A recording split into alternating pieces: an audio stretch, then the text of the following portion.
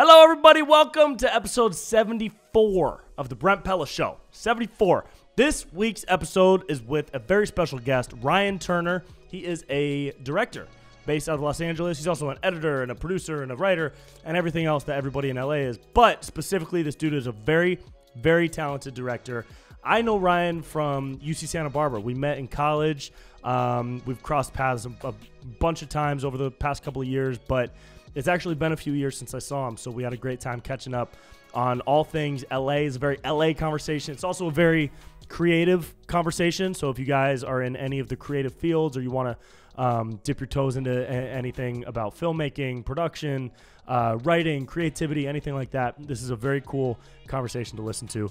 Um, and it starts off with a funny story from me about something that literally happened moments before Ryan came through for the podcast. So uh, we dive into that pretty quick.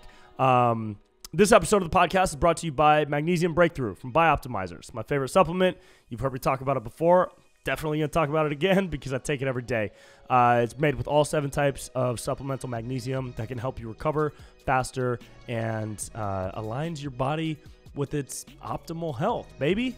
MagnesiumBreakthrough.com slash Brent Pella for 10% off. And Bioptimizers will send you a free copy of the Biological Optimization Blueprint, a book that's packed with nutritional information and facts based on research and science, scientific studies um, to help you live a happier, healthier life, which I want for you and you want for you because we should all be operating at our highest form so that when the aliens show up, they can be they'll be like, oh damn, these people are actually pretty chill. Let's stay and party, right?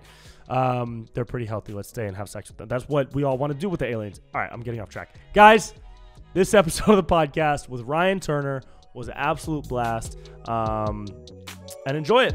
Here it is.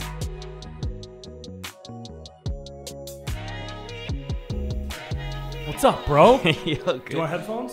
Uh, yes, sure. You don't. You don't have to use them, but you can. No, I won't. I'm. I'm. Have you done? Have you been on people's podcasts? No, this is a. You're breaking my. Is this your first pod? You say breaking. You don't break a chair. You pop a cherry. You pop a chair. You pop a podcast chair. We're gonna pop your podcast Yeah. cherry today, dude. Breaking sounds much more. Uh, Breaking's aggressive. yeah. you want to pop it? Pop it like a pinata. You don't pop pinatas, balloons. I'm yeah, really. pinatas you smash. You're doing a great job. You would break pinatas. Ryan Turner, yeah. everybody. Hey, how's it going? Um, man, when's the last time we saw each other? Man, uh, let's see. Was it a party? Probably. Was at- it at your when you lived in Los Feliz? yeah, yeah. That was like six years ago. it was a That was a long time ago. That was a long time ago. We didn't see each other. We didn't run into each other.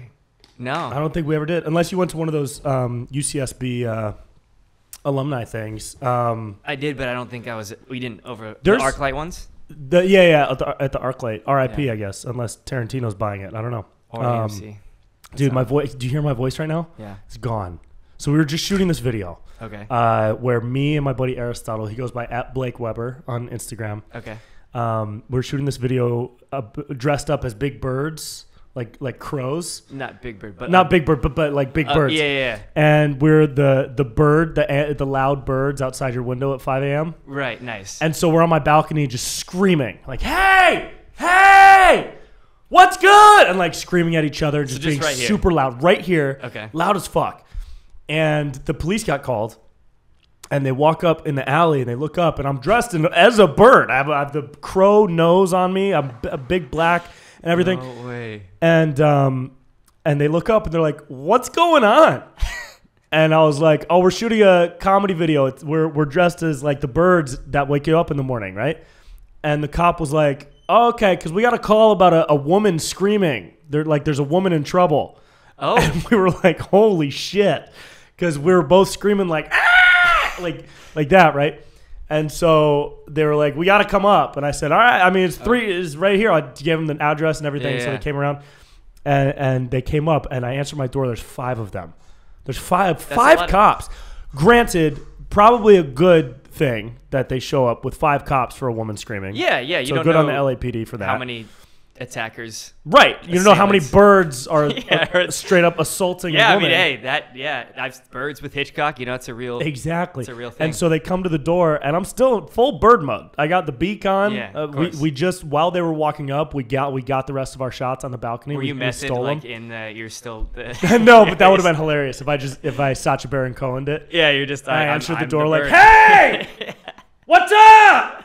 And um, I answer the door. There's five of them. They immediately start laughing, Mhm. and they're like, "We got to come in and check it out." And I was Okay. like, "Well, wait, hang on."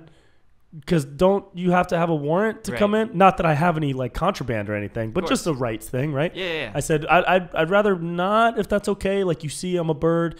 And they said, oh, no, actually, we have to. There's an, uh, it's, it's the, I, I think they said the unknown trouble law or the, Hmm. uh, something like that. It was Yeah. like the, um, That's what they. Is that the ver- the, the use, like, verbiage was like, there was a phrase. It was like, the, I'm sorry, it's, it's unknown trouble, so we have to come in. huh? And he Like made a a, mo- yeah, and he just started walking in, and I was like, I guess that's a thing. I had no idea. So they come inside. Of course, they look around. There's nothing in here. It's me and my. But he's in a bird costume too. Another bird. Yeah, and our DP is filming the whole thing on a phone. DP's not a bird. DP's not a bird. DP's a human. And I came over. I was like, "Hey, come watch the footage." And I brought him in here, and I showed him the footage, and they just started laughing, and um, and then they left, uh, and it was great. And I went back out to the living room, and I saw that I had left my prop gun on the couch because I have a prop Ooh. gun that looks like a legitimate Looks- firearm. It's yeah. a it's a um, it's an the airsoft gun. Doesn't no, no, no. It's all black. It looks like a straight up movie gun Right. and I we were using it in the video. We were like Right. waving around a gun, but nobody saw the gun. That's not why they called 911. It was a quick shot, but it was right there. It was like out in the open, That's, and they didn't see it. So, like they did a great of job, the five of them. but none of the, they had there were one five job, cops in my house. yeah, and they the didn't see a gun on the couch.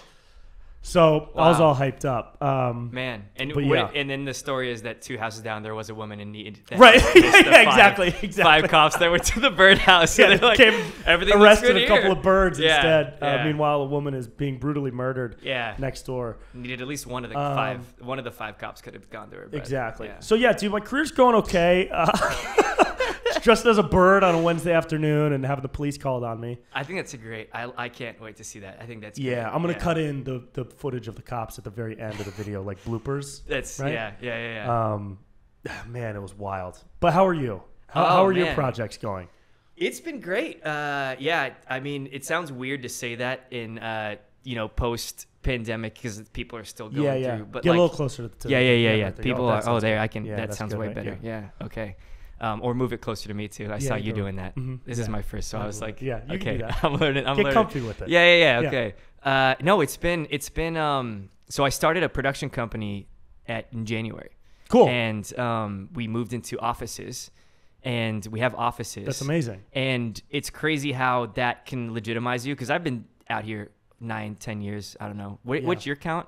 Uh, dude, same. I moved out here right after graduating. Right. I mean, I'm 17, but uh, I graduated in 2012 at Santa Barbara. right, I'm 17 years old, and then I moved immediately. So I'm coming up on 10 Yeah, we met. I met you. You were very young in college. Yeah. You Yeah, like I was very young. years old or Yeah, something. yeah. Um, yeah, I, I, I think, yeah, I moved out 2011 summer, so 10 years, Yeah. 10ish years. But yeah, so long story short, having an office legitimizes you in a way that I, I did not know. Uh, Cool, like my- a brick and mortar office. Yeah, like Yeah. Uh, it's got like that. It I was saying this looks Gatsby, that looks Gatsby too. You know, because you gotta model your life After the after Great Gatsby. Great Right. Gatsby. Yeah, you got to be a great Gatsby. Yeah. Um, but yeah, I, I, uh, it's crazy because just since then, I got my biggest job ever directing because I direct. That's Yeah. uh, that's what I do. So I want to get there, but first Yeah, I want to yeah. I want to go back because it, it really has been a while, Yeah, and yeah. I've watched all your stuff over the years, from the Doritos stuff to the shorts, uh, the one with um, So, uh, date in 2025. Is yes. Yeah. that was one of my favorites. It's called Yeah, a date in 2025. Um, that was a, that was a rad short film. So you came out here. 20. We went to college together at UCSB. We worked on some stuff together. Crossed paths a bunch. We were Yeah. hanging, and then you moved out here. What did you get into in 2011 when you first got to LA? What were those first couple of years like? Yeah, I was an assistant editor on a feature. Oh, never, cool. Never ended up coming out. Um, but this is Damn, what happened? it. It. Yeah, I. Good question.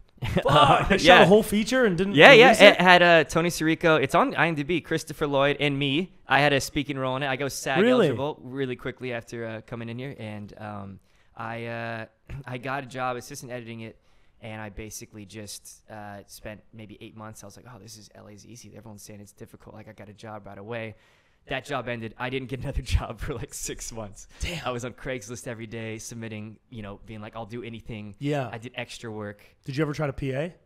Uh, I PA'd a little bit. Yeah, I did anything. I did, yeah, I okay. really Yeah, anything. Yeah, ed- anything. Anything. I sucked dick. yeah, that's yeah. the implied. For no IMDb yeah, yeah, credit, yeah. yeah, for the for the minimum wage. Yeah. Um, yeah, at the running the running For rate. at the two hundred for twelve for sucking dick, dude. Yeah, inflation's up now because of COVID. but Right. it's, it's uh, Yeah. I, yeah, and I, I basically I did that. I I raised money on Kickstarter for a music video. I spent all my money that I made on a web series. Uh, released those. No one saw them. Cool. So that was disheartening. Of course. And, and yeah, great. we all need that though. Yeah, yeah. It just Yeah. punches you. You're just like You need like, a, you need some gut punches. you did, yeah. LA definitely is the great humbler, Yeah. and uh, and then I, I met a friend doing extra work, and dude, I remember we met up uh, at coffee with him like around this time. Jesse Pepe. oh yeah, did of I'm course. Not, I'm not gay music video yeah, that we made hilarious together. comedy video. Um, I met up with you because you had done a bunch of music videos. I'd, I'd even I helped out. I think I AD'd one of yours, Walk of Shame or something. yep. yep. Went up to Santa Barbara. Phenomenal, Yeah. phenomenal piece. yeah, yeah. It was Guys, great. go watch Walk of. Type in Walk of Shame, Brent Pella on Yeah. YouTube.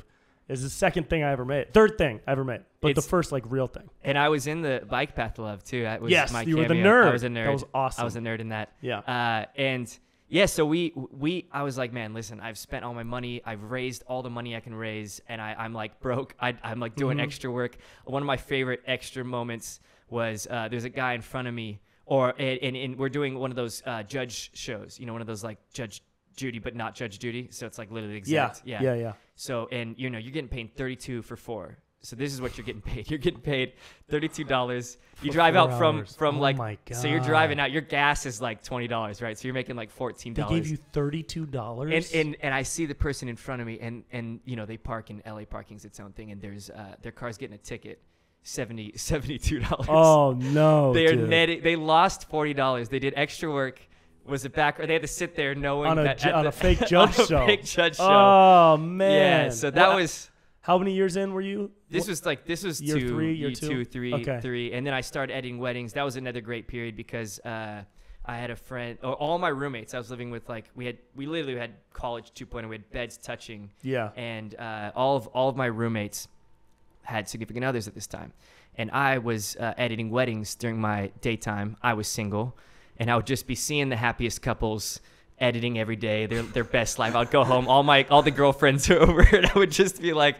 This is a good period of my life. Yeah, Yeah, it was a good yeah. period. But we did the we did that comedy music video, that I'm Not Gay, that uh, ended up getting pretty big. With Jesse, yeah. Yeah, with Jesse, with Jesse JP, I'm not gay. Yeah. uh, you can look that up on YouTube. Yeah. And uh, we got flown out to different places in the state to for him to perform that. Hilarious. It was big at at, like gay bars. At gay bars. Yeah, that's yeah. funny. And he would always, because the gag is like he's saying he's not gay, but he's really gay. He's and- closeted, but right? it's a very pro LGBTQ message. yeah, uh, yeah. It was so funny. It's like not about him. It's or not about whether being gay or straight. It's just about this dude that just takes it too far, right? Right, So, right, like, right, that's- right, right. But he would always go on these tours, and I would be his plus one. He'd say I was his manager, and we'd go out and we'd Nice. just go to these bars and have these ridiculous nights, and go to like this bar in Detroit that was in the Eight Mile where perform he's performing, and then ev- everyone would be like, "So, are you actually gay?" And then he would answer in really cryptic ways. You know, he'd be like, Yeah. "Well, well, it came with this guy," and he'd point to me, and I'd be like, "What, the, dude? Come on!" They're like, "They're like, well, he's definitely a bottom." I'm like, Ah. "Yeah, this is great. This is great. this is great." So Uh, that led to my first commercials. Uh, Oh, cool. That uh, guy saw it, really liked my work. Was like, "Hey, I got commercials." Directed those. Was that Virgin when you were doing the Virgin? Those were before. These Those were like this. It was called Virgin? Fitness Buddy. okay. Um, this it was like a fitness app. So at this um, point, you're kind of because LA is weird when you first come out here to do anything in entertainment because Yeah. you're, you're like a pinball. Oh yeah, You just bounce around a bunch. Like when I when I was first starting, I had the my main thing was at uh, Cheesecake Factory, right. and then I would bounce from PA gig to like one time I I, I drove an eight foot mirror in a, a cargo van to Right. San Francisco, and I had to come back the same night because I didn't want to pay for my hotel. Right. So I drove six hours up, six hours back, and that clocked me at a 12 hour day. Uh, and then I had to wake up at 10 a.m. for like the morning shift at Cheesecake. Um, Yep. and then from there, it was like, you know, weird improv classes, just bouncing around doing a million things. Yeah. So that's similar for you, uh, but from a directing standpoint, because directing, Directing- was always the path for you, right? And and editing was my breadwinner. Uh, Right, right, yeah. right, okay. They didn't trust me as the mirror guy. Yeah. I didn't have that. Yeah. Didn't have that they shouldn't have trusted Yeah. me, dude. I was PAing one time on a gig, and uh, it was toward it was it was in the twilight of my PA career. Yeah. Um, and I lost an envelope with five hundred dollars in it. It, it was petty cash, and I think what happened was I threw it away with uh, because I had like a bunch of papers and shit in my PAs car, throw a lot of stuff like away. old call sheets and trash, Yeah, yeah, and, and just this Manila envelope right there that had five hundred dollars in it. And I think I just threw it away. yeah. But and to their credit, the coordinators were like ridiculously nice about it, Right. And did not harass me or give me a hard time. That's nice. They also didn't hire me again, but it, it was toward the end of my career. So Yeah. as a PA, um, Sent you into retirement. yeah, Yeah. yeah. I think they, Yeah. they probably think that I stole it. I didn't steal the five hundred dollars, Yeah. although I should have because of the way they reacted. Wouldn't have been a bad play. It sounds like it Yeah. would have been very three yeah. days worth of work. Yeah. You know. Yeah. a couple Um, parking tickets. Yeah. Um, yeah, it's it, it is crazy that that that I I really early on realized I did not want to be on set working on other people's sets, uh, and this is definitely an ego thing. But I Yeah. was there was one shoot in particular, and it was called Novelas Atrás, and I, I get my horrible Spanish accent, but that being said, the guy that made this was not didn't speak any Spanish. If you wondered why he named it Novelas Atrás, you would not be able to know why. Yeah. He and, and it's one of those movies, and he made it to get the girl. You know that he made it Yeah. to he made it to basically get this girl that he was attracted to. Ugh, so I'm I'm helping him shoot this. I feel like I'm part of this weird. You're just a pawn in I'm a weird yeah. I, even I was DITing and DITing like for those that don't know, it's like you go in a room and you just you know dumping cards and doing yeah, stuff yeah, yeah. like that's what I was doing. Footage and all that. I I just man, I was watching these shoots and I was I was getting depressed. I was Yeah, like, I yeah, can't. yeah. There was there was some really bad shoots that I was helping out with, and I was like, you know what, editing, I don't have to deal with this. I can do it on my own time. I got my own setup, and so yeah, that was that was my breadwinner, and then yeah, the weddings went into corporate videos, and then you know I was directing like, and so the next big like landmark, I guess, landmark milestone in my career was the Doritos, like you mentioned. Mm-hmm. Yeah. So I did one of those uh, Doritos Super Bowl. Uh, got to the finals. Yeah, so Doritos they and they don't do this anymore, but they did a competition, right? For Super Bowl. People could submit originally made Doritos commercials Yeah. and the top 3 would air. Top, uh, top. Well, they, they it depends on the years. One, it was like the top one would air, the favorite one would win, and then my year they they aired two. Cool. Uh, mine was not one of the ones that were aired, but I was in the finalists. But you So were they- like the third. Right? Yeah, like yeah, I mean, next one up. They never whatever. released the numbers. I felt Oh, like okay. Desmond, like so you vote every day, right? And Yeah, so yeah, like yeah. I was like treating it as if you, you know, you win a million dollars. Yeah. You win a million dollars, you air in the in the in the Super Bowl. So I was like, okay, well, if my month is paid a million dollars, how hard would I work? I'd be like, that's very hard. Right, right, right. So I would go to Apple stores and I would go to the devices and I would. I'm probably gonna get in trouble. No well, way. I can't get in trouble. no, no, no. it's- it's- yeah, I would go to different devices and I would vote on the devices. Each No one's a different. IP address. That was, and I would go to another Apple store and I would, I would, I would, I would. I would vote. I would vote every day. I would. Oh my I God. felt like Desmond and Lost. You know, you Yeah, yeah, type yeah. in a number in every single. I was Yeah, like, I don't even know. They Uh-huh. don't ever release the vote count. They don't release the vote count. So you don't. I, I would like to think I was third. That's what I tell myself. Uh-huh, Uh, uh-huh. but yeah, we didn't. We didn't air. I was at the Super Bowl, and so they fly you out Cool. you spend like a week with all the other finalists, you know, and, and you they wine and dine you. They take you like we were gonna go hot air ballooning. You do all these crazy things, and you get all the Super Bowl events. You meet football players. It's like they really make you. Uh, they they really give you a good time, and and then you're in the stadium, and anytime the fo- they don't tell you when it's gonna air. So anytime the game ends, your commercial could possibly air, and you could win a million dollars. Oh So God. anytime the game stops, you're just kind of like, And they didn't tell you. and you're in the stadium. You're not watching it on TV, so you're just waiting for like something. You're waiting Oh, for you're waiting for like uh, some text. a you're like text or something? yeah, like anytime you get a text, your heart stops. You're like, did it? and and then you know uh, the woman next to me starts screaming. She's the wife of the guy that won Scott Uh-huh. uh, for the first one. He won the million, and uh, he had a great commercial middle seat. And uh, he ended up winning. But the the the silver lining, like you talked the Virgin America commercial, the day before the Super Bowl, I get a call, and it was like a very Hollywood moment. And I'm in the hotel room. We're getting ready. You know, it's the night before, and I get this call, and it's it's a guy that works for Virgin America, and he says, "Hey, I saw your commercial. I loved it. Uh, I, I was hard to find your phone number, but I found it. He's like, "Are you free next Friday to direct a commercial with Richard Branson in Vegas?" And I was like, uh, "Yeah, yeah, I am free for that." Uh, and uh, and he uh, he was like, "Yeah, so regardless if you win or lose, we loved your commercial. We want you to come out." Amazing. Uh, and so, yeah, lost, but they sent an email right after we lost, and they're like, hey, you know, we still think you should have won, but uh, we're still moving ahead on this commercial. So we're flying back to LA after, and from Arizona, it was in Phoenix. So we're flying back to LA, me and my, my partner who made it with me, Travis. uh, Travis Brown, and we and he basically we were pitching these ideas. They give us like a brief, so we come up with these ideas. We land, we pitch the ideas, and then yeah, three days later, flying out to Vegas and to shoot with Richard Branson. directing Richard Branson. Did not like being directed by me. Oh, really? Uh, tw- uh, tw- I think I was like 22 Well, he, or he 20. was just wanted. He just wanted to go to space. yeah, he That's just wanted. he- Yeah, that's that's all his, his mind. about. Even back then. Even, back ba- then, he's like, "Well, who the fuck is this kid? I want to be in space right now. Yeah. Why am I not on an asteroid? It's actually. I was like, "Can you say the script? I, we hear we hear about your space, uh, Mr. Branson. There's a script here." all But- Richard Branson wants Yeah. is to be in space. And I, I found this out uh, uh, that he basically only like as soon as he lands because he has his island, his island's Sure. for, uh, Necker Island, uh, and he lands in the U.S. And I guess the IRS starts the clock when he lands. So like his island is where he gets away from paying taxes No from way. any country. And if he stays in the U.S., so he's in.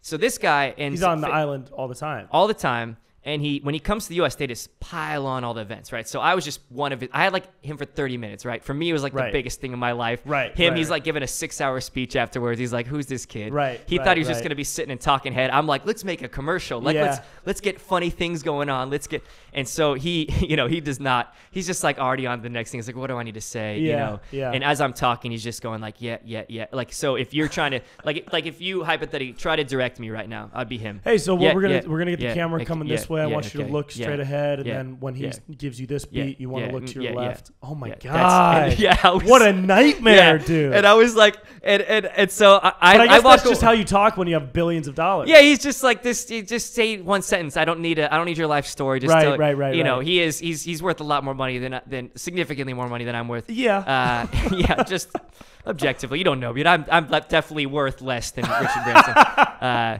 and I like you know like do I go Sir Richard? Uh, so yeah. oh right, he's a knight. And, and he didn't do anything that I said, uh, and so I'm like, oh, that was great, because he couldn't hear me because he just said yeah. So I'm like, yeah, but can Oh you? my all right, God. you know, great take. Uh, can you hit the can you can you hit the mark and just say the lines? I was more efficient when I said it next time because I knew I definitely You I was like, I gotta yeah, I gotta say it in once. Yeah. I got like three words for this guy. I was like Right. walk, mark, Move head left. line, Right, right, right. say line. Walk, Um, mark, line. Yeah, yeah, yeah. And there's great dailies too, where you could see like there's the, it ends with so the premise is like there's a guy that uh you know orders a lobster and or no orders a salad. Richard Branson walks up, orders a lobster. They're both the same price. Mm-hmm. So the idea being Virgin America, you can price match with any airline. So if you're why would you take the salad but you can get the lobster? Right, That's like right, the right. commercial Sure, idea. yeah. So so uh yeah, basically at the very end, you know, he's popping champagne and the guy that, that had to get the salad is like eating a salad while he's popping champagne in the back. Sure, sure. So that was like his favorite part of, you know, he was having a lot of fun because we surrounded him with girls and it was a great time. Sure. Um, and you know, he's he's laughing, smiling, and you don't even hear my voice, but you know when I walk up because he's just laughing and smiling. Just looks up like this. Like it's just his whole demeanor just goes. Just super t- like listening to me again he's like Right. what is this kid this Right. kid just tell me what you need Right. i need to get out of here and i'm with girls like what is your problem i've flown in here from my island like and, and i guess he like hurt he, he his shoulder was hurting from from kite surfing or something Of course it was. yeah it was hurting from kite surfing, and his ankle was busted and from his you know space program climbing up a boulder Yeah. horizontal with his new moon boots. Yeah breaking He's gravity. a space knight. He is- Richard yeah, Branson's a space knight. You can't direct a space knight. no you i mean who who was i Yeah. who was i to even think i could So know? So were you right in college? You wrote a lot. Did you write the stuff that you directed? This I and you know this is an interesting thing. I've learned I had to write. That was like a Yeah. big LA punching me in the face over and over again. I liked directing stuff that other people wrote. Oh, interesting. Partly because I uh, edit. So for me, Okay. it's like if I have a if I'm writing, directing, editing, I am so in it. And as, as I'm sure you know with comedy, like you get so subjective in it. You're like, this was Yeah. funny at one point. Uh, I don't know if it's like I, I I don't know what's funny anymore. Yeah. I don't know what funny is, but I just gonna take that Northern Star of that first time I heard that and just keep trying to make that. Totally. And with editing, it's like any, you know, you can make or break stuff in the edit. And so, uh, yeah, I, I, for me, it was like I liked having that other set of eyes that was in there from the beginning. I've since, so Date in 2025, the short film, um, which was like really like the next milestone, I would say. But that, that one was written by uh, Matthew Hart, who, who's a good friend of mine, and we worked together on that. But I always liked that collaborative process. And because Cool. I edited mainly out of necessity, because like then I could put more of the money on screen Yeah. um, then I, I found that working with a writer. So now, but now I've now I would say yes. Now I write my now stuff. you write your stuff. now I'm forced to. Um, uh, w- was your trajectory always ideally into features, and is it still? Yeah, yeah. Because commercials to me are awesome. I want to make commercials because every commercial to me is a comedy sketch. Yes, it's just exactly. a sketch. Yeah. it's the same beats. It's the same pacing. You know what I mean? You write it the same way. You're trying to get people with a laugh early. Exactly. Typically, I mean, unless it's you know a Viagra commercial. But even those can be funny. They can be funny. They can be Um, funny. Should be funny. Did you write the Doritos one? Uh, Travis wrote it. Okay, Travis, cool. Travis Brown, my my uh, my friend, who's now slaying it at Disney. He's doing some great stuff. That's dope. So ideally, if if and when you move into the feature world, do you see yourself directing other people's scripts and So- choosing projects based on what you like, or do you have concepts that you want to flesh out and write yourself? Both. Okay. So that's it, and that's this. That's why it's a really exciting time right now because uh, so I got my biggest job ever uh, in January. It was for this biotech company called Zymergen, and uh, I, I I think that just happened where everyone's back was against the wall, and I because like you know there's that paradox where it's like how do you get those big budget projects when you're talented enough to do them, but no one's giving you that opportunity to do them. How do you get the opportunity if you haven't done them in the past? Because they're like, just show us what you've done. Right, right. So it was just kind of this perfect lineup. My my my business partner, who I started the production company with, uh, Zubin, he put he put me up for it. Like he was like, "This is the guy. I'm telling you, this is the guy." So he told the production company, called the production company, convinced them.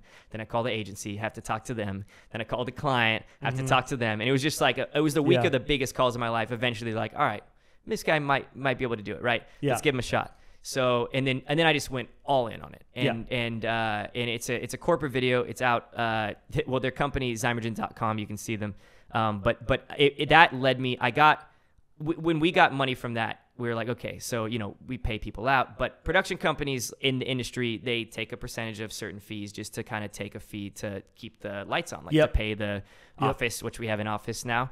Um, so for us, it's like let's we're gonna put that money back into stuff. I said I got ended up getting hired a couple more times with the client. It was a really good month, um, and I said let's take that money and let's get a writer working on a script for me. Awesome. Um, so we we basically were like, let's pull the trigger.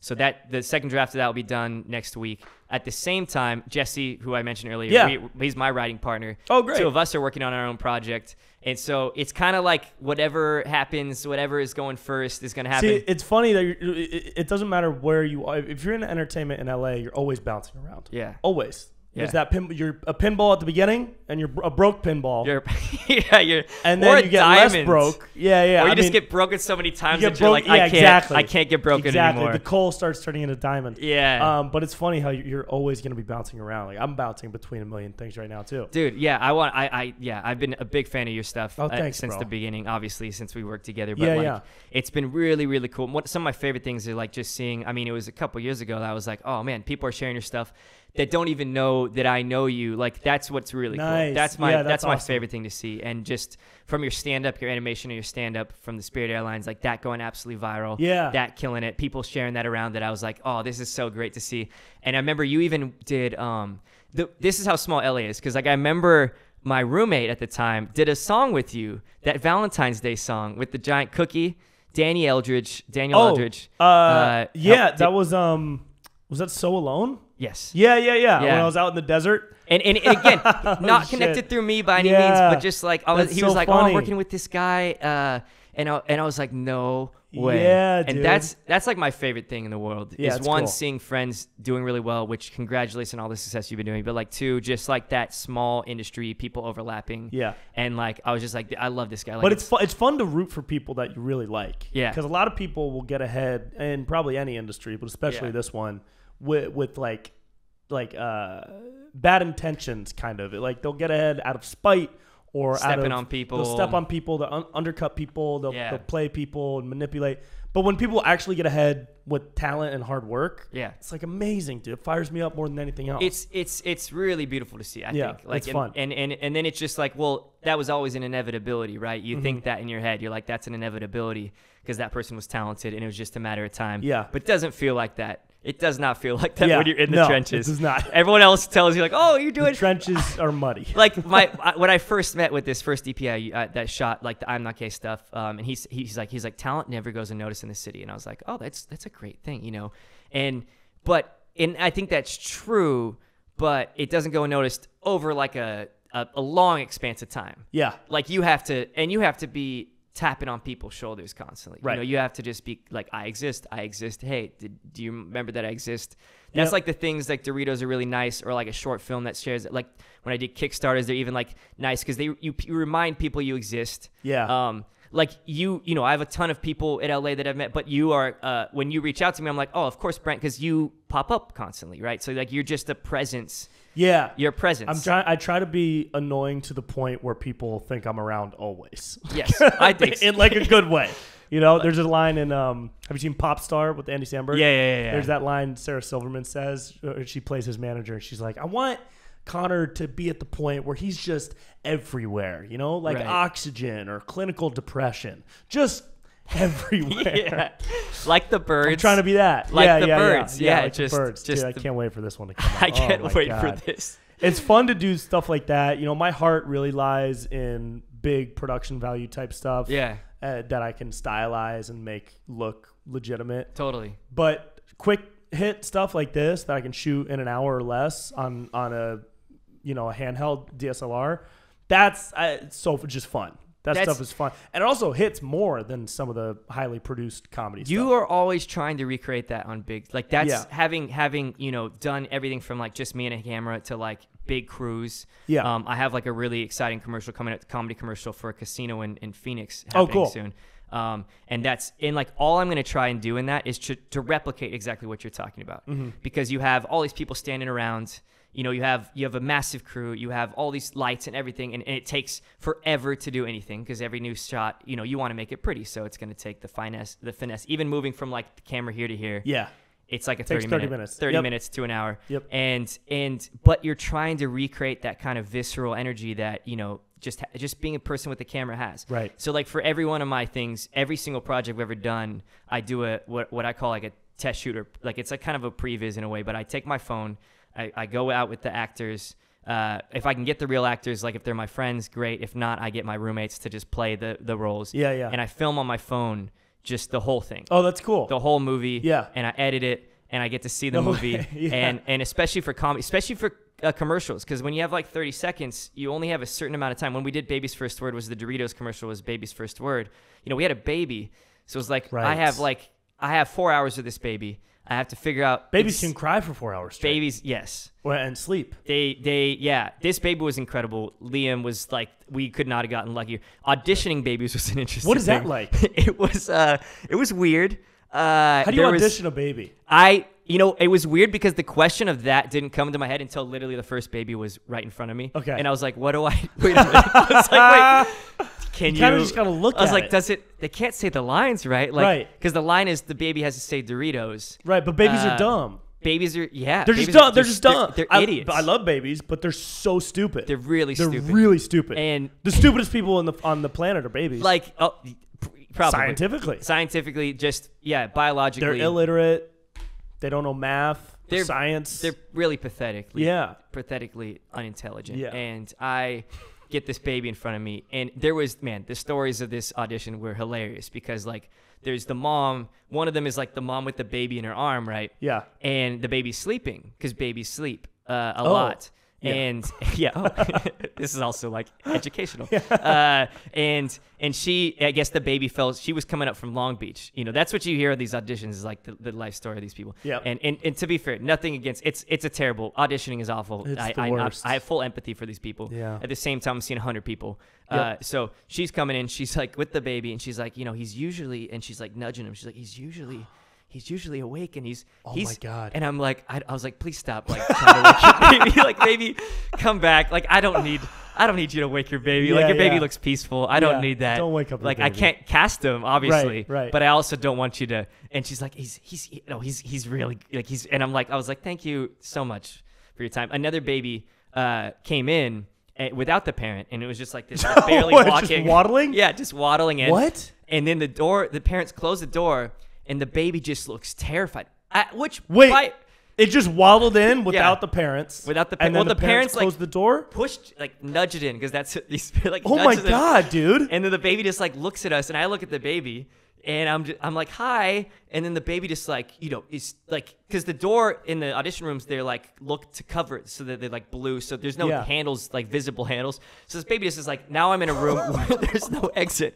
There's these strange men staring at me with a camera, and it just started crying. Oh my god. And I was like, God. I don't know, can bring them, like bring the parents. I was like, bring the parents, and then there was, and then like it was crazy, and we're like, I, uh, like I was like trying to get these ba- babies to say like, can you say Doritos? None of them could because like it's a complicated word. It is a It complicated is a complicated Yeah. word. And and and then the baby that got it, Liam, you know, and this is this is how you know, like the baby just strutted in, came in super, biggest smile on his face, comes in, he sits there and he just goes, "Hi." Oh my and God. We're like, "Hi," and he's like, he's and he's like, "Okay," and then he goes, "Ritos," and I just go, I'm like, the, give That's it. This, That's it. Yeah. He- This was he the only one that could say part of the word at least? Yeah, he Yeah. was. He was. How it was how old was he at the time? he was, uh, gosh, I'm so bad at baby ages. I at think least like three one. or four. Okay, three or four. Three right. or four. So Playing like tod- two. toddler age. Playing Three or four to play, play two. two to play two. yeah, yeah. So it was. Oh, man. It, it, it and yeah. You got to keep up with this baby. You got to keep up with his career. He's. I, I follow. I'm friends on Facebook with his with his family. Is he Uh, doing like child acting? I, I, you know, I need to keep up with. His, I see the pictures of him. Okay. He's, he's aging well. He's agi- aging. Uh, that's a He's weird- aging that's a- well. that's he's like weird thing to say. seven. That's He weird- looks five You though. know, he's yeah, he's he still, looks five. He's still, He's you know, he's playing baby- half his baby age. face still, forever, Yeah. yeah. No, he was he was amazing. He was so, and I remember my favorite was this girl that came in. She was like a grandma, like an old curmudgeon in a in a. She just like she just came in like scowl on her face, and she's just like, my parents made me come here today, and I was like, I was like, oh okay. She's like, she's like, I. I, I, I can say your script. And I was like, okay, can you, do you want to, she's like, Doritos. And I was like, this is so. It, anyways, that Oh was that was an interesting experience, and uh, I love working with with kids because to me, it's like playing films are just make believe, like you're talking Yeah, about. Like they're yeah. just playing.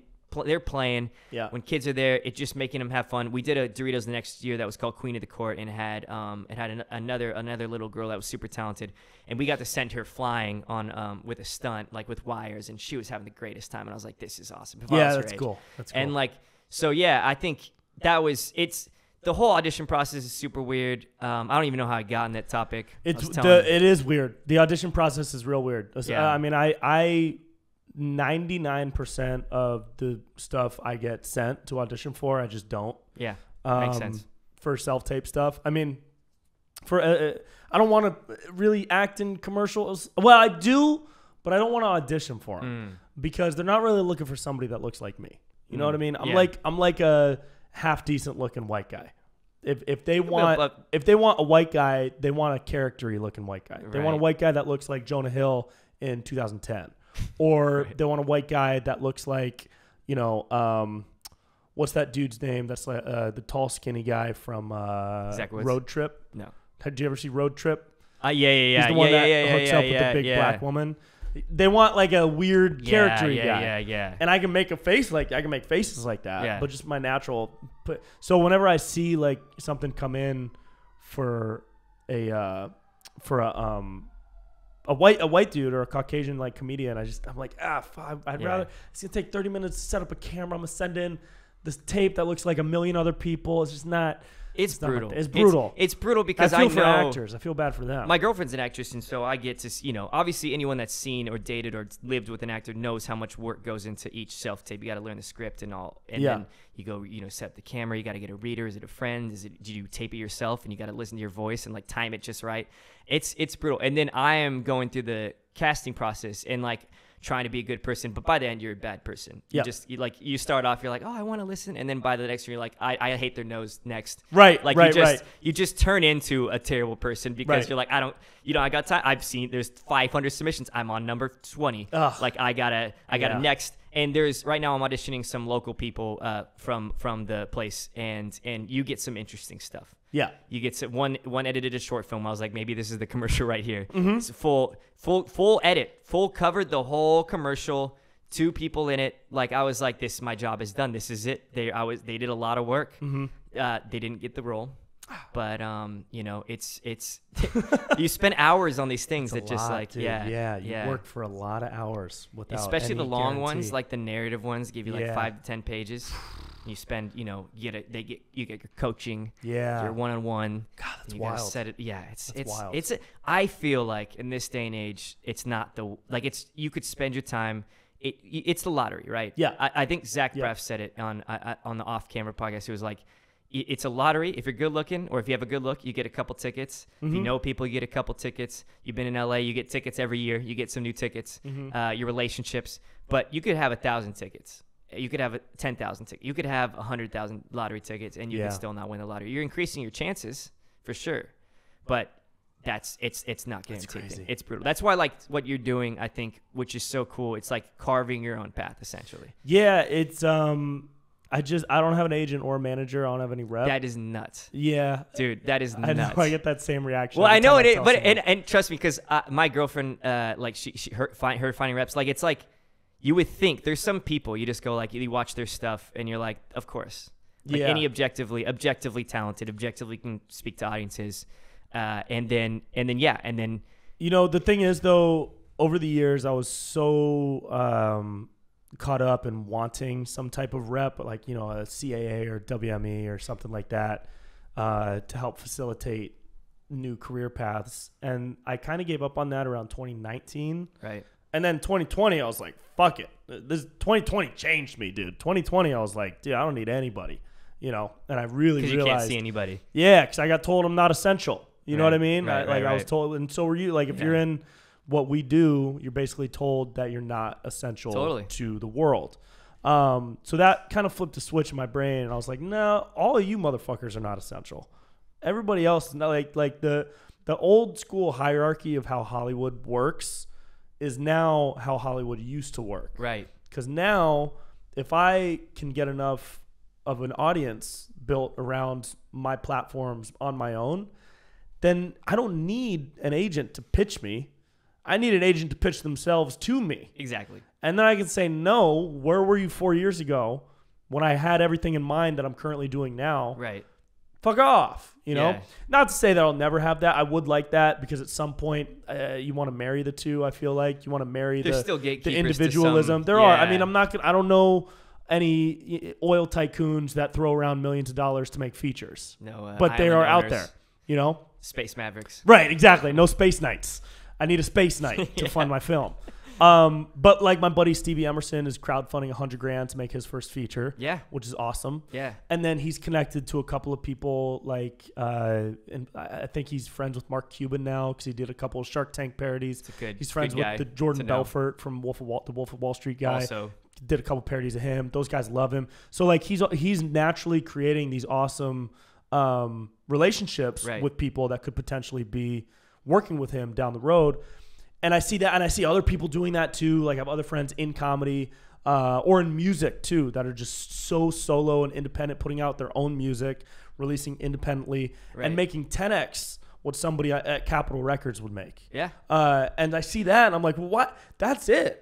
That's the new, that's that's the new way. That's it. If I can put out like all the videos I put out, I feel like those are a mixtape. I'm just putting out mixtape after Yeah, yeah, mixtape. yeah. And SoundCloud. yeah, and then the album will be when Netflix says, "Hey, we love all your mixtapes. You ready for an album?" I'll be like, "Yeah, I'll put it. I'll put out some something on Netflix. I'll, I'll, I'll work with a big corporate giant like that. Right. But I'm not going to seek that out. And if they never come to me, I'm good. Yeah. because I have all my people. Yeah. like, so that's what I've been focused on for the past couple of years is just trying to uh, uh, connect with like-minded people and, Yeah. and and make stuff that I love and have faith that I'll attract people who also love that stuff and have faith I'm not the only one that likes what I make. You know what I mean? That was Yeah. kind of the the jump jump off the high dive was like, okay, I just got to do what I like and just have faith that other people will like it too. Well, it's it's so funny because that aligns so much with um um, my path in many ways. Because I feel like the metaphor for mine is like I've had a machete just carving, Yeah. carving through the jungle. Yep. Do I know if I'm going to where do you go from the jungle? Not the jungle. You're trying to get from the jungle, not to the jungle. Maybe to a oasis. That's. Yep. deserts. One of those places. Yeah, You're going somewhere that's not the jungle. Somewhere not the jungle. Someone yeah, an they- oasis is good. Yeah, oasis. You're Yeah. going from macheting through. You're going to and Necker Island. Going to Necker Island. Take it yeah, away you're from gonna Branson. be yeah. A Yeah. lot of mosquitoes there, by the way. It's not. Oh, yeah, gross. I don't want to go there. Necker Island Yeah. without mosquitoes. Yeah, exactly. Um, yeah. So I, I feel like, and what my shift, I feel like COVID uh, did that for a lot of people. For me, it was like one realizing that, like you said, I hadn't actually written anything that I was. So I was like, well, what am I? What am I gonna say? What am I interested in? What?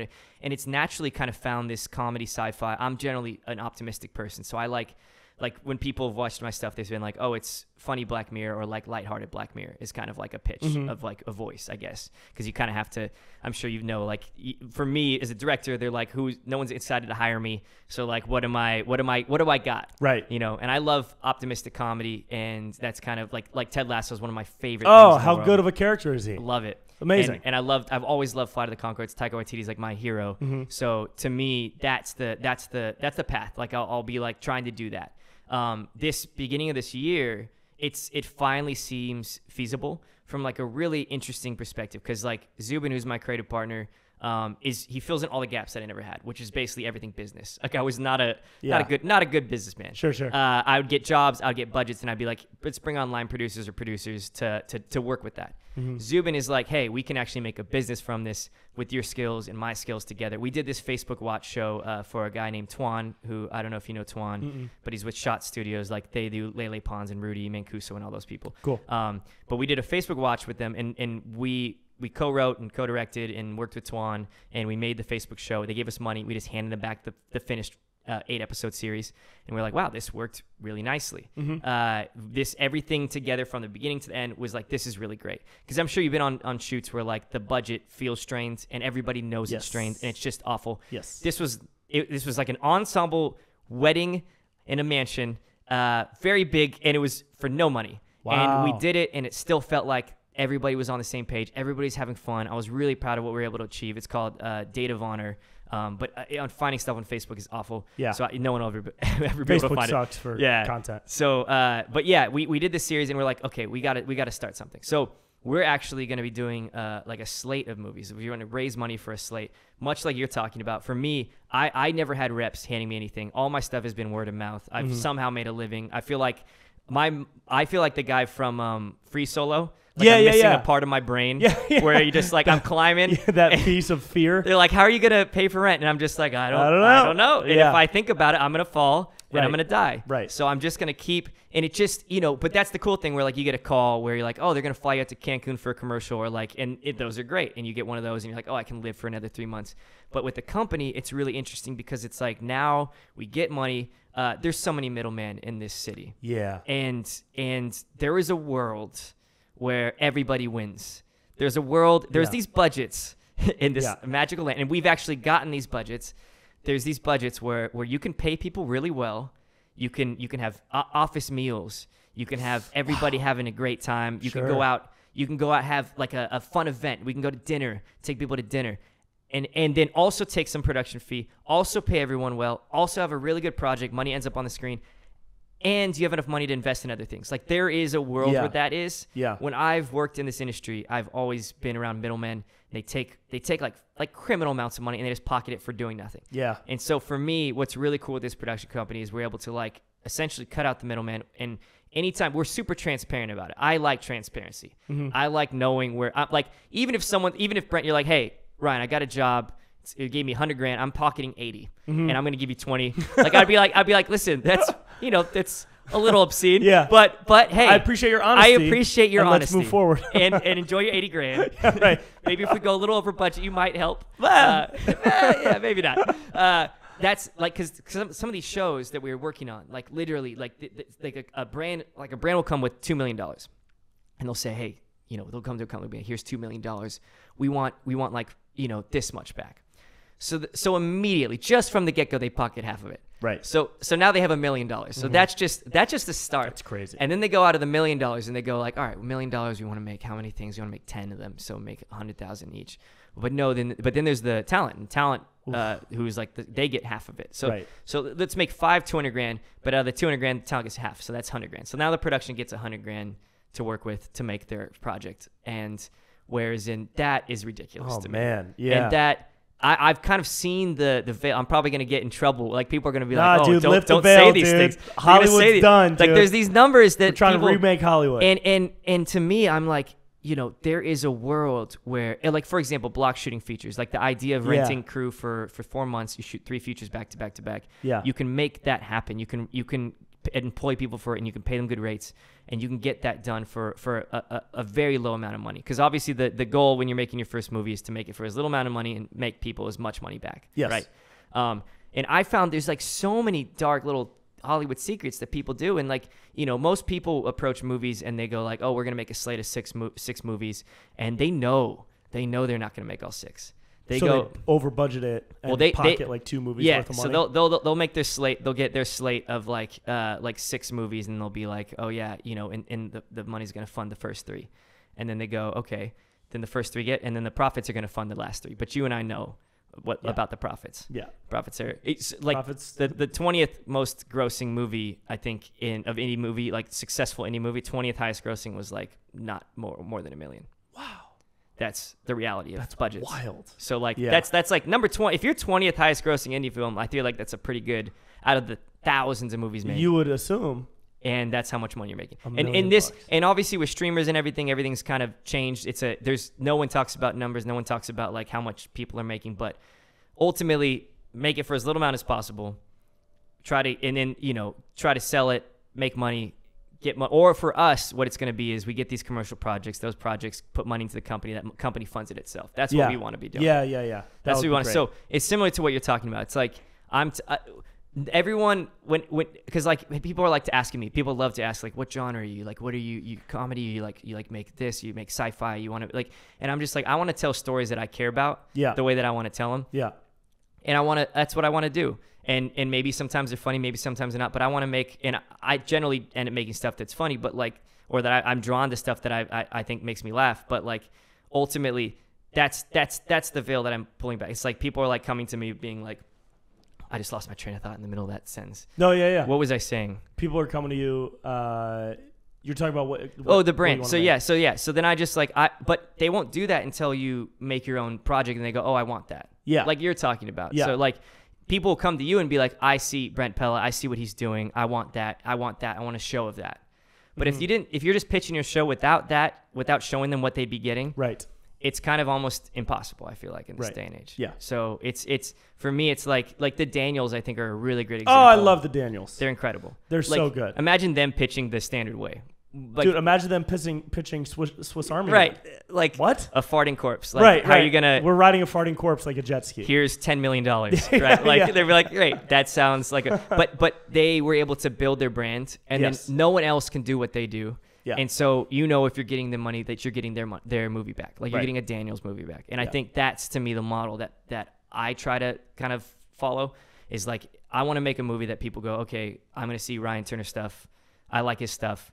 I want to see another movie by him. Yeah. And then let's give him some money. I like a script. Here Yeah, that's awesome. So, who, yeah. who else do you look up to besides aside from the Daniels? Who else are some of the directors that come to mind when you think of people that have crafted their own uh, voice through filmmaking specifically? I mean Edgar Wright. that's who I was gonna say.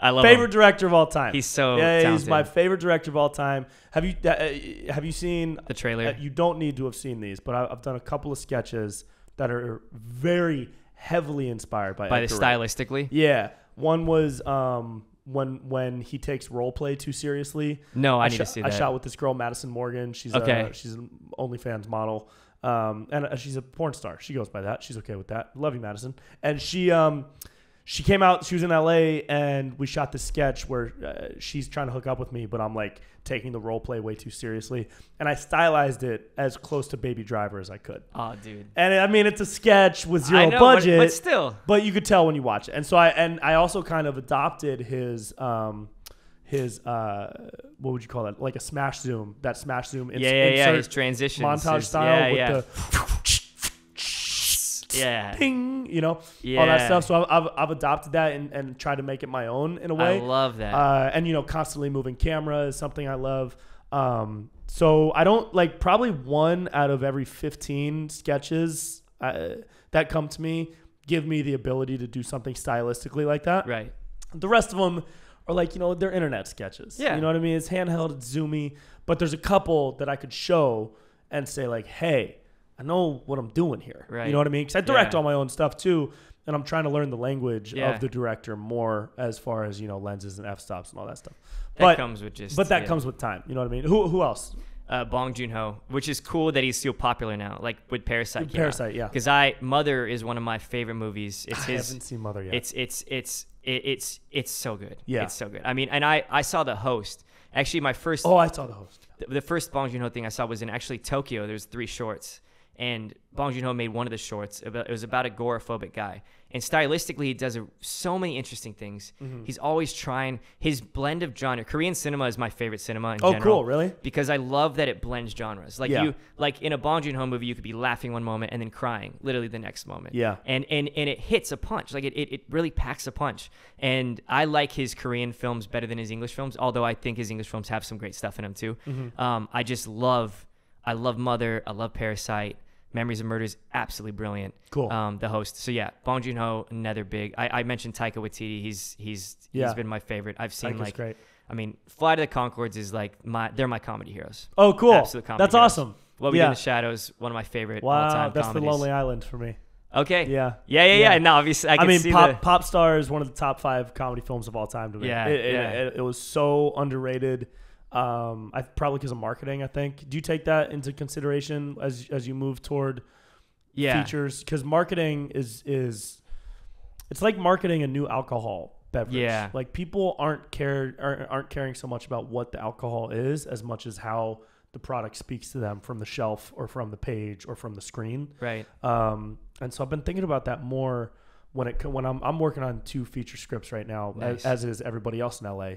Uh, but you know, I'm thinking about that like marketing wise, Popstar kind of failed marketing wise. If you remember, they it, it was marketed as like a Justin Bieber parody, but it was very like you didn't know when you saw a commercial that it was for a mock doc, Right. And you didn't know what like it felt like weirdly I don't know how to describe it. Juvenile, like childish, kind of like it felt like just a straight up Bieber parody, like a sketch, kind of. and Very broad. They show the broadest broad. of jokes. Yeah, like, and it was the all the um the posters and the billboards were just the the seal gold and joke. They, I sparkly. think and- they they, yeah. they sold with the wolves, and you're right, like, right, right. yeah. You're like what the fuck? Uh, but man, that movie is just so funny. And- Yeah. and and yeah, I I I definitely I feel like you know anytime I'm filming whether it's a short or something I'm always trying to think of like what's the poster gonna be? What are yeah, what's the what's what's the people's leg in? And I mean I I never know anymore. Like I at the same time as I was doing the I'm not gay music video which I had no idea would be big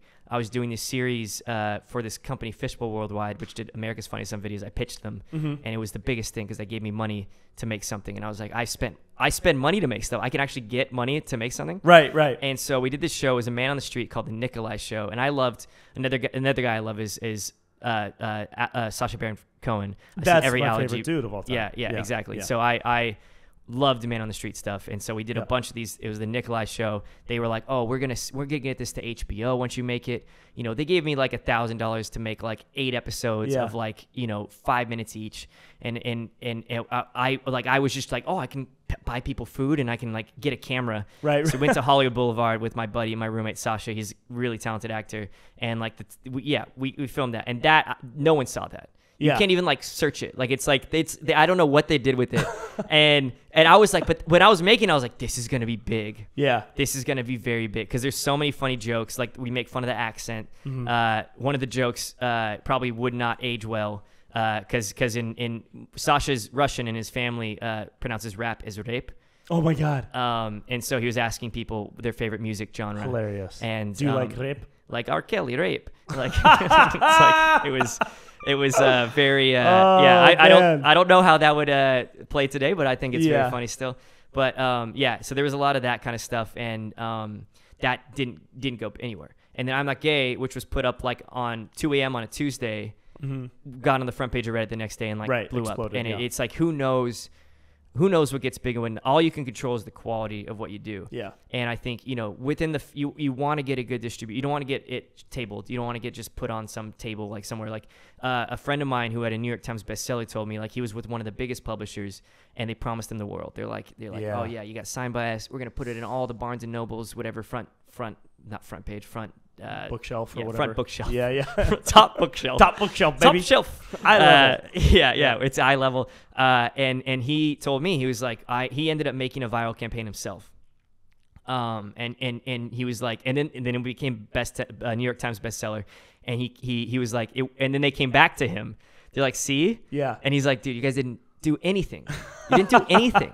And, and it, it's crazy because it's it's like that you know the Duplass like you've seen that speech the cavalry's never coming like that it's the a great Duplass brothers. yeah, they gave yeah, a really great speech in like Sundance or Slamdance, one of them, Yeah. and it was basically like about the cavalry's never coming, and that to me is what it's about with like when you make something, Yeah. and and so yeah, I mean, my first we're, we're actually making a feature uh, this November. We're shooting one with our company. Cool. We're very excited about it. It's a very limited in scope, could be made for very little money, and it's really original, really cool. And then and and this is like the shift in me because I think earlier on I would have been like, I want to make. I'm in the my company, my feature first, like Right, me right, right. first, please. So you're not directing this one? No, I'm not. Oh wow. We're just doing it through the company, and we're you producing? we're producing, yeah, like Yeah. creatively overseeing. Like we're running it through our company. Um, it, it's gonna be, you know, we're gonna give it everything we have, and Awesome. and um, we have our, we're talking with locations now. Like the script is really incredible, like objectively very very good. What's the genre? Um, it's it's it's hard to define. It's kind Cool. of like a mystery buddy Beasts of the Southern comedy, Wild. romantic. Yeah, Beasts of, Yeah. Beasts of Southern Wild Meets with a Russian Crashers. guy that Right, says that Rick. says Rick. yeah, yeah. Meets Wedding Crashers, but just the end of Wedding Right. Yeah, yeah. Just the- the part where he finds himself. yeah, exactly. Yeah. Uh, no, but it's really it's uh, to me it's a really important message. Like uh, and, like it's not a message. It's not a preachy movie, but it's it's something I really resonated with as a male. It's kind of like look internal, look inward kind of movie uh, Mm-hmm. where the guy you know it starts off being kind of like oh these people are crazy and then he's like wait I might be, have something to do with that. Cool. Um, so we're but yeah we're doing that and then my new draft will be coming out. Hopefully I'll be starting to raise money for that. Um, and then yeah when we make it to me, this is like our Northern Light. I obviously make it for as little amount as possible. Try to get anybody that can help sell it because that's the first thing they ask. I have Yes. a buddy that just made a, a million dollar movie, and then the first everyone's just he's so depressed because he's just like everyone's like, who's in it? And he's like he's like me and you know Yeah. uh, and people are in it, but like no one that you could if they're like yeah I don't know that guy. Oh, and wow. so the buyers of movies care about that. they do. lot. They, do. care about yeah, a lot about especially that. if people in China like the actor. Oh yeah, That's huge. Yeah, it big really. Chinese- Yeah, yeah, China loves movies. they do. They love American movies. They do. Fast and mm-hmm. Furious Amazing, kills it. incredible. Slays there. Yeah, that's Yeah. why John Cena had to apologize. Did you hear what happened when that Oh happened? Oh, yeah, him and LeBron Woo! both. Yeah, dude, that's some crazy shit, dude. yeah, but yeah. there's no but really because I just don't agree with yeah, it. I don't, I don't. But Uh, I wouldn't I do it. I wouldn't I wouldn't have apologized. I wouldn't either. but I also probably wouldn't have even broached the subject. yeah, I would have stayed You stayed away from that. There's a way to just stay away from it entirely. If you're asked about it, it's tough to stay away from it. yeah, if you're asked like, hey, what do you think? Uh, do you think Kong. people in Taiwan will like this movie? Then I'd probably say like, yeah. Do you think the people in the country of Taiwan would like this movie? I'd probably I'd, pr- I'd say yes, but I wouldn't be like, hey, Taiwan's a country, Right, Uh, yeah. but I don't know. Maybe I would because fuck, who cares? You Right, know what I like mean? like I. The, if it's my a- movie, I don't This is like very existential. You have a Yeah. finite amount of time on this earth. yeah, Money is obviously a factor, but like it's not the factor for me. Like money, if Good, I I would good, not be in good. film if I cared about money. Like if I would You be, an, be. I would be an Oh, accountant. God. I would Yeah, be yeah. I would be doing numbers somewhere. yeah, in a, in a, in making money and then going in box seats. That's Yeah. what I'd be doing. Yeah. yeah. But right now I'm not in box seats. I'm I'm in my we're on our way. Baby. yeah we're, we're, st- on we're our still way. being pinballed around a little bit. yeah, bit. pinball, pinball. The on our way. diamond, the diamond will be in the box seat soon. But no, I think I think honestly, yeah, it's it's uh making making what you want. Uh, obviously, in terms of sales, I think you know if it's good, you can't control that. You can't control that. All you can control is if it's good and if it resonates with you. Hopefully, you take a festival circuit, resonates with audience, resonates with sellers. Everybody's looking for more content these days. You make. Yeah. it for cheap enough that, that when they do buy it, you make money back. People, the investors get their money back. They're happy. Yeah. that's all that matters.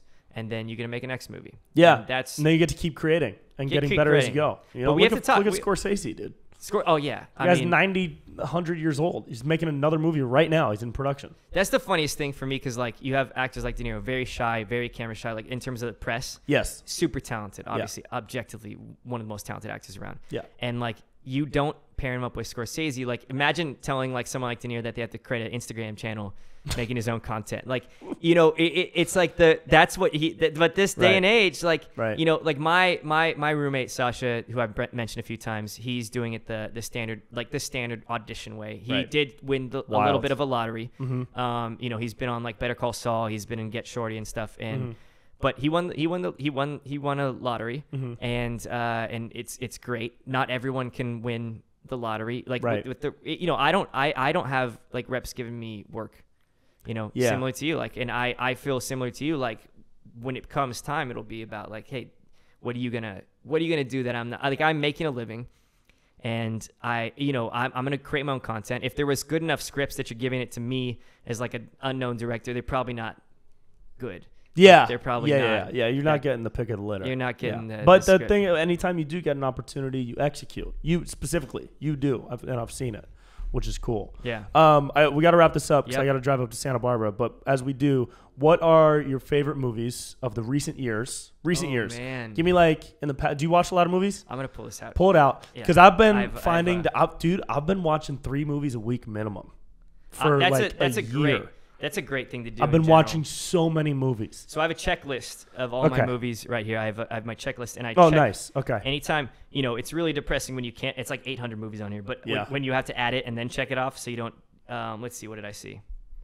What did I see? Oh no, it's at the bottom. That's the that's the oldest. Let me let me start by throw by throwing you a couple that Okay. I've seen recently. Uh, first things first, I rewatched Inglourious Basterds last night. Yeah, Incredible. it's a great movie. Just Christoph Waltz is um, an ungodly talented uh, person. uh, uh, uh, uh, another round was amazing. Who's that Um, That was uh, with Mads Mikkelsen. It won Best Foreign Film at the Oscars this year. Okay, cool. It was really great. Soul, Soul, incredible. loved it. Um, did you see uh, uh, what was it? The Witch? I oh I know it. Are you into horror at all? Uh, uh, I know. or Yeah, like Eggers, A24 Rod- yeah, style, yeah, yeah, style yeah, horror? yeah. Yeah. Yeah, I saw. I, I actually really liked Green Knight. Saw that like two nights ago. Green Knight. what? Green Knight. Green the Green Knight? Knight just came out. Green uh, Knight. the Green Knight. Uh, Palm Springs, I really love. Loved Palm Springs. That's the style of movie I actually want to make. I It- could is see like a sci-fi comedy.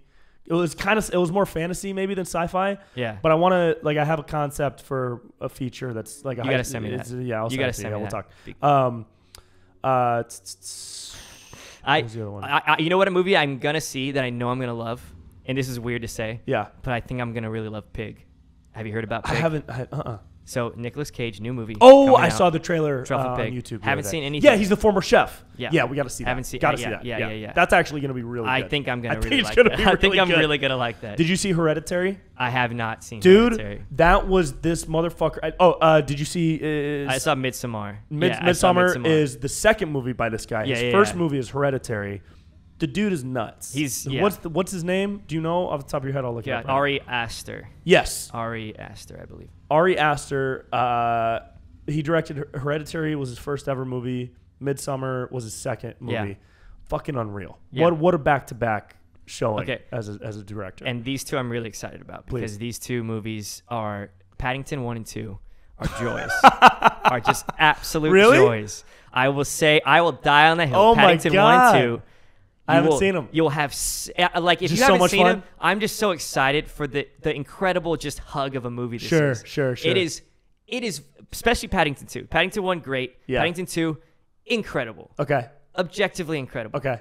I think you know, and then we going back Parasite, w- Parasite, incredible yeah. movie. Yeah. I, I already know I'm gonna love the new pirate show. Um, Mm-hmm. that that uh, I loved Dark, the TV show. I love Didn't that on that, Netflix. Really that, good yeah. time travel German show. Okay. Yeah. Did I you watch just wanted Handmaid's Tale?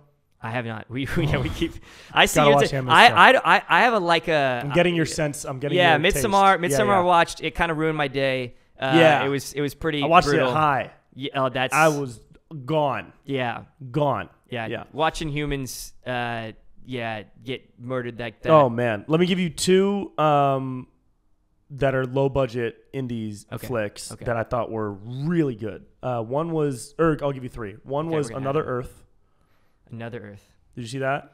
I it's from the group of friends and filmmakers. They've made a couple movies together. Um, I think I've heard of it. Yeah. Another Earth. Oh man, what are these? I think they have a name for their group, or maybe they don't. But the lead actress is in a bunch of stuff, and her name is Brit Marling.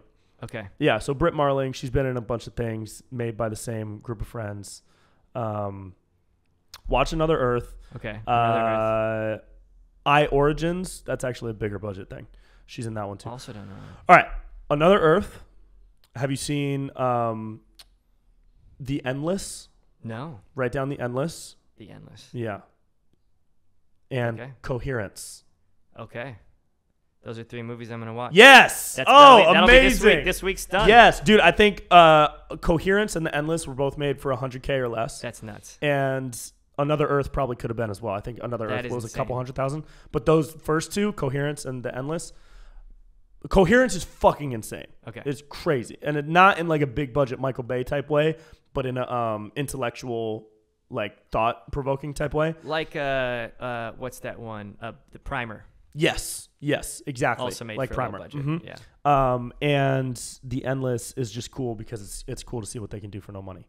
Yeah. But I'm excited to see what you can do for money from now on. Yeah. Yeah. We're uh, we got some exciting stuff brewing. Where can so- people find you? So RyanTurnerProductions.com is my website. That's the only place that all my random stuff is all coordinated. Mhm. Echo Bend Pictures is my production company. Um, so and we're revamping our website now. That, like we got money. I never had money to revamp website. Now we you got get- website money. We got website. You got website money. money. dude. It feels good. It's expensive. It doesn't feel good to spend that money, but Right. it feels good to, to have the to money have to the money to spend. spend. Yeah. Yeah, yeah. So that's Echo Bend Pictures and Ryan Turner Productions, director.ryan Turner on Instagram. Cool. And um, yeah, and we'll be well, we need it. We need it outside of this too for sure. Yeah, let's grab. script. We'll grab coffee. We'll do an LA thing, We'll and it won't take. We did the thing to to do this podcast, the classic LA thing, where we just bounce dates back and forth for like three weeks. It was good. But now that it happened, we're on a roll now. this is so oh, now. I feel it. Yeah. I feel the roll. Now we'll, we'll only have one reschedule. Momentum is. Yeah, the momentum is there. and have a great trip to Santa Barbara. I Thanks, dude. I miss yeah. We uh, we UC Santa Barbara is how we know each other. So yeah, that's, yeah, that's yeah. how yeah. yeah. Um, dude, love you. Good to see you. Love you too, brother. Bye, everybody. See ya. That's it. Thank you guys so much for checking out the show and hanging and vibing and chilling. Shout out to Bioptimizers. Get 10% off at magnesiumbreakthrough.com slash Brent Pella for uh, the, my, my favorite supplement that I take every day. And follow Ryan. Keep up with Ryan Turner, director.ryan Turner on, on uh, Instagram, and keep up with all of this stuff. I got a bunch of shows coming up that I should have plugged at the beginning because now it's the end of the episode and people have already turned it off by now. Uh, da, da, da. I'm at San Francisco Cobb's this weekend, Cobb's Comedy Club in San Francisco, opening for uh, JP, JP Sears. Um, and I'm going to Tacoma, headlining Thursday, August 26th at the Ta- Tacoma Comedy Club up in Washington. All other dates at brentpella.com slash shows. And I love you guys so much. Hey, have a great week. See ya.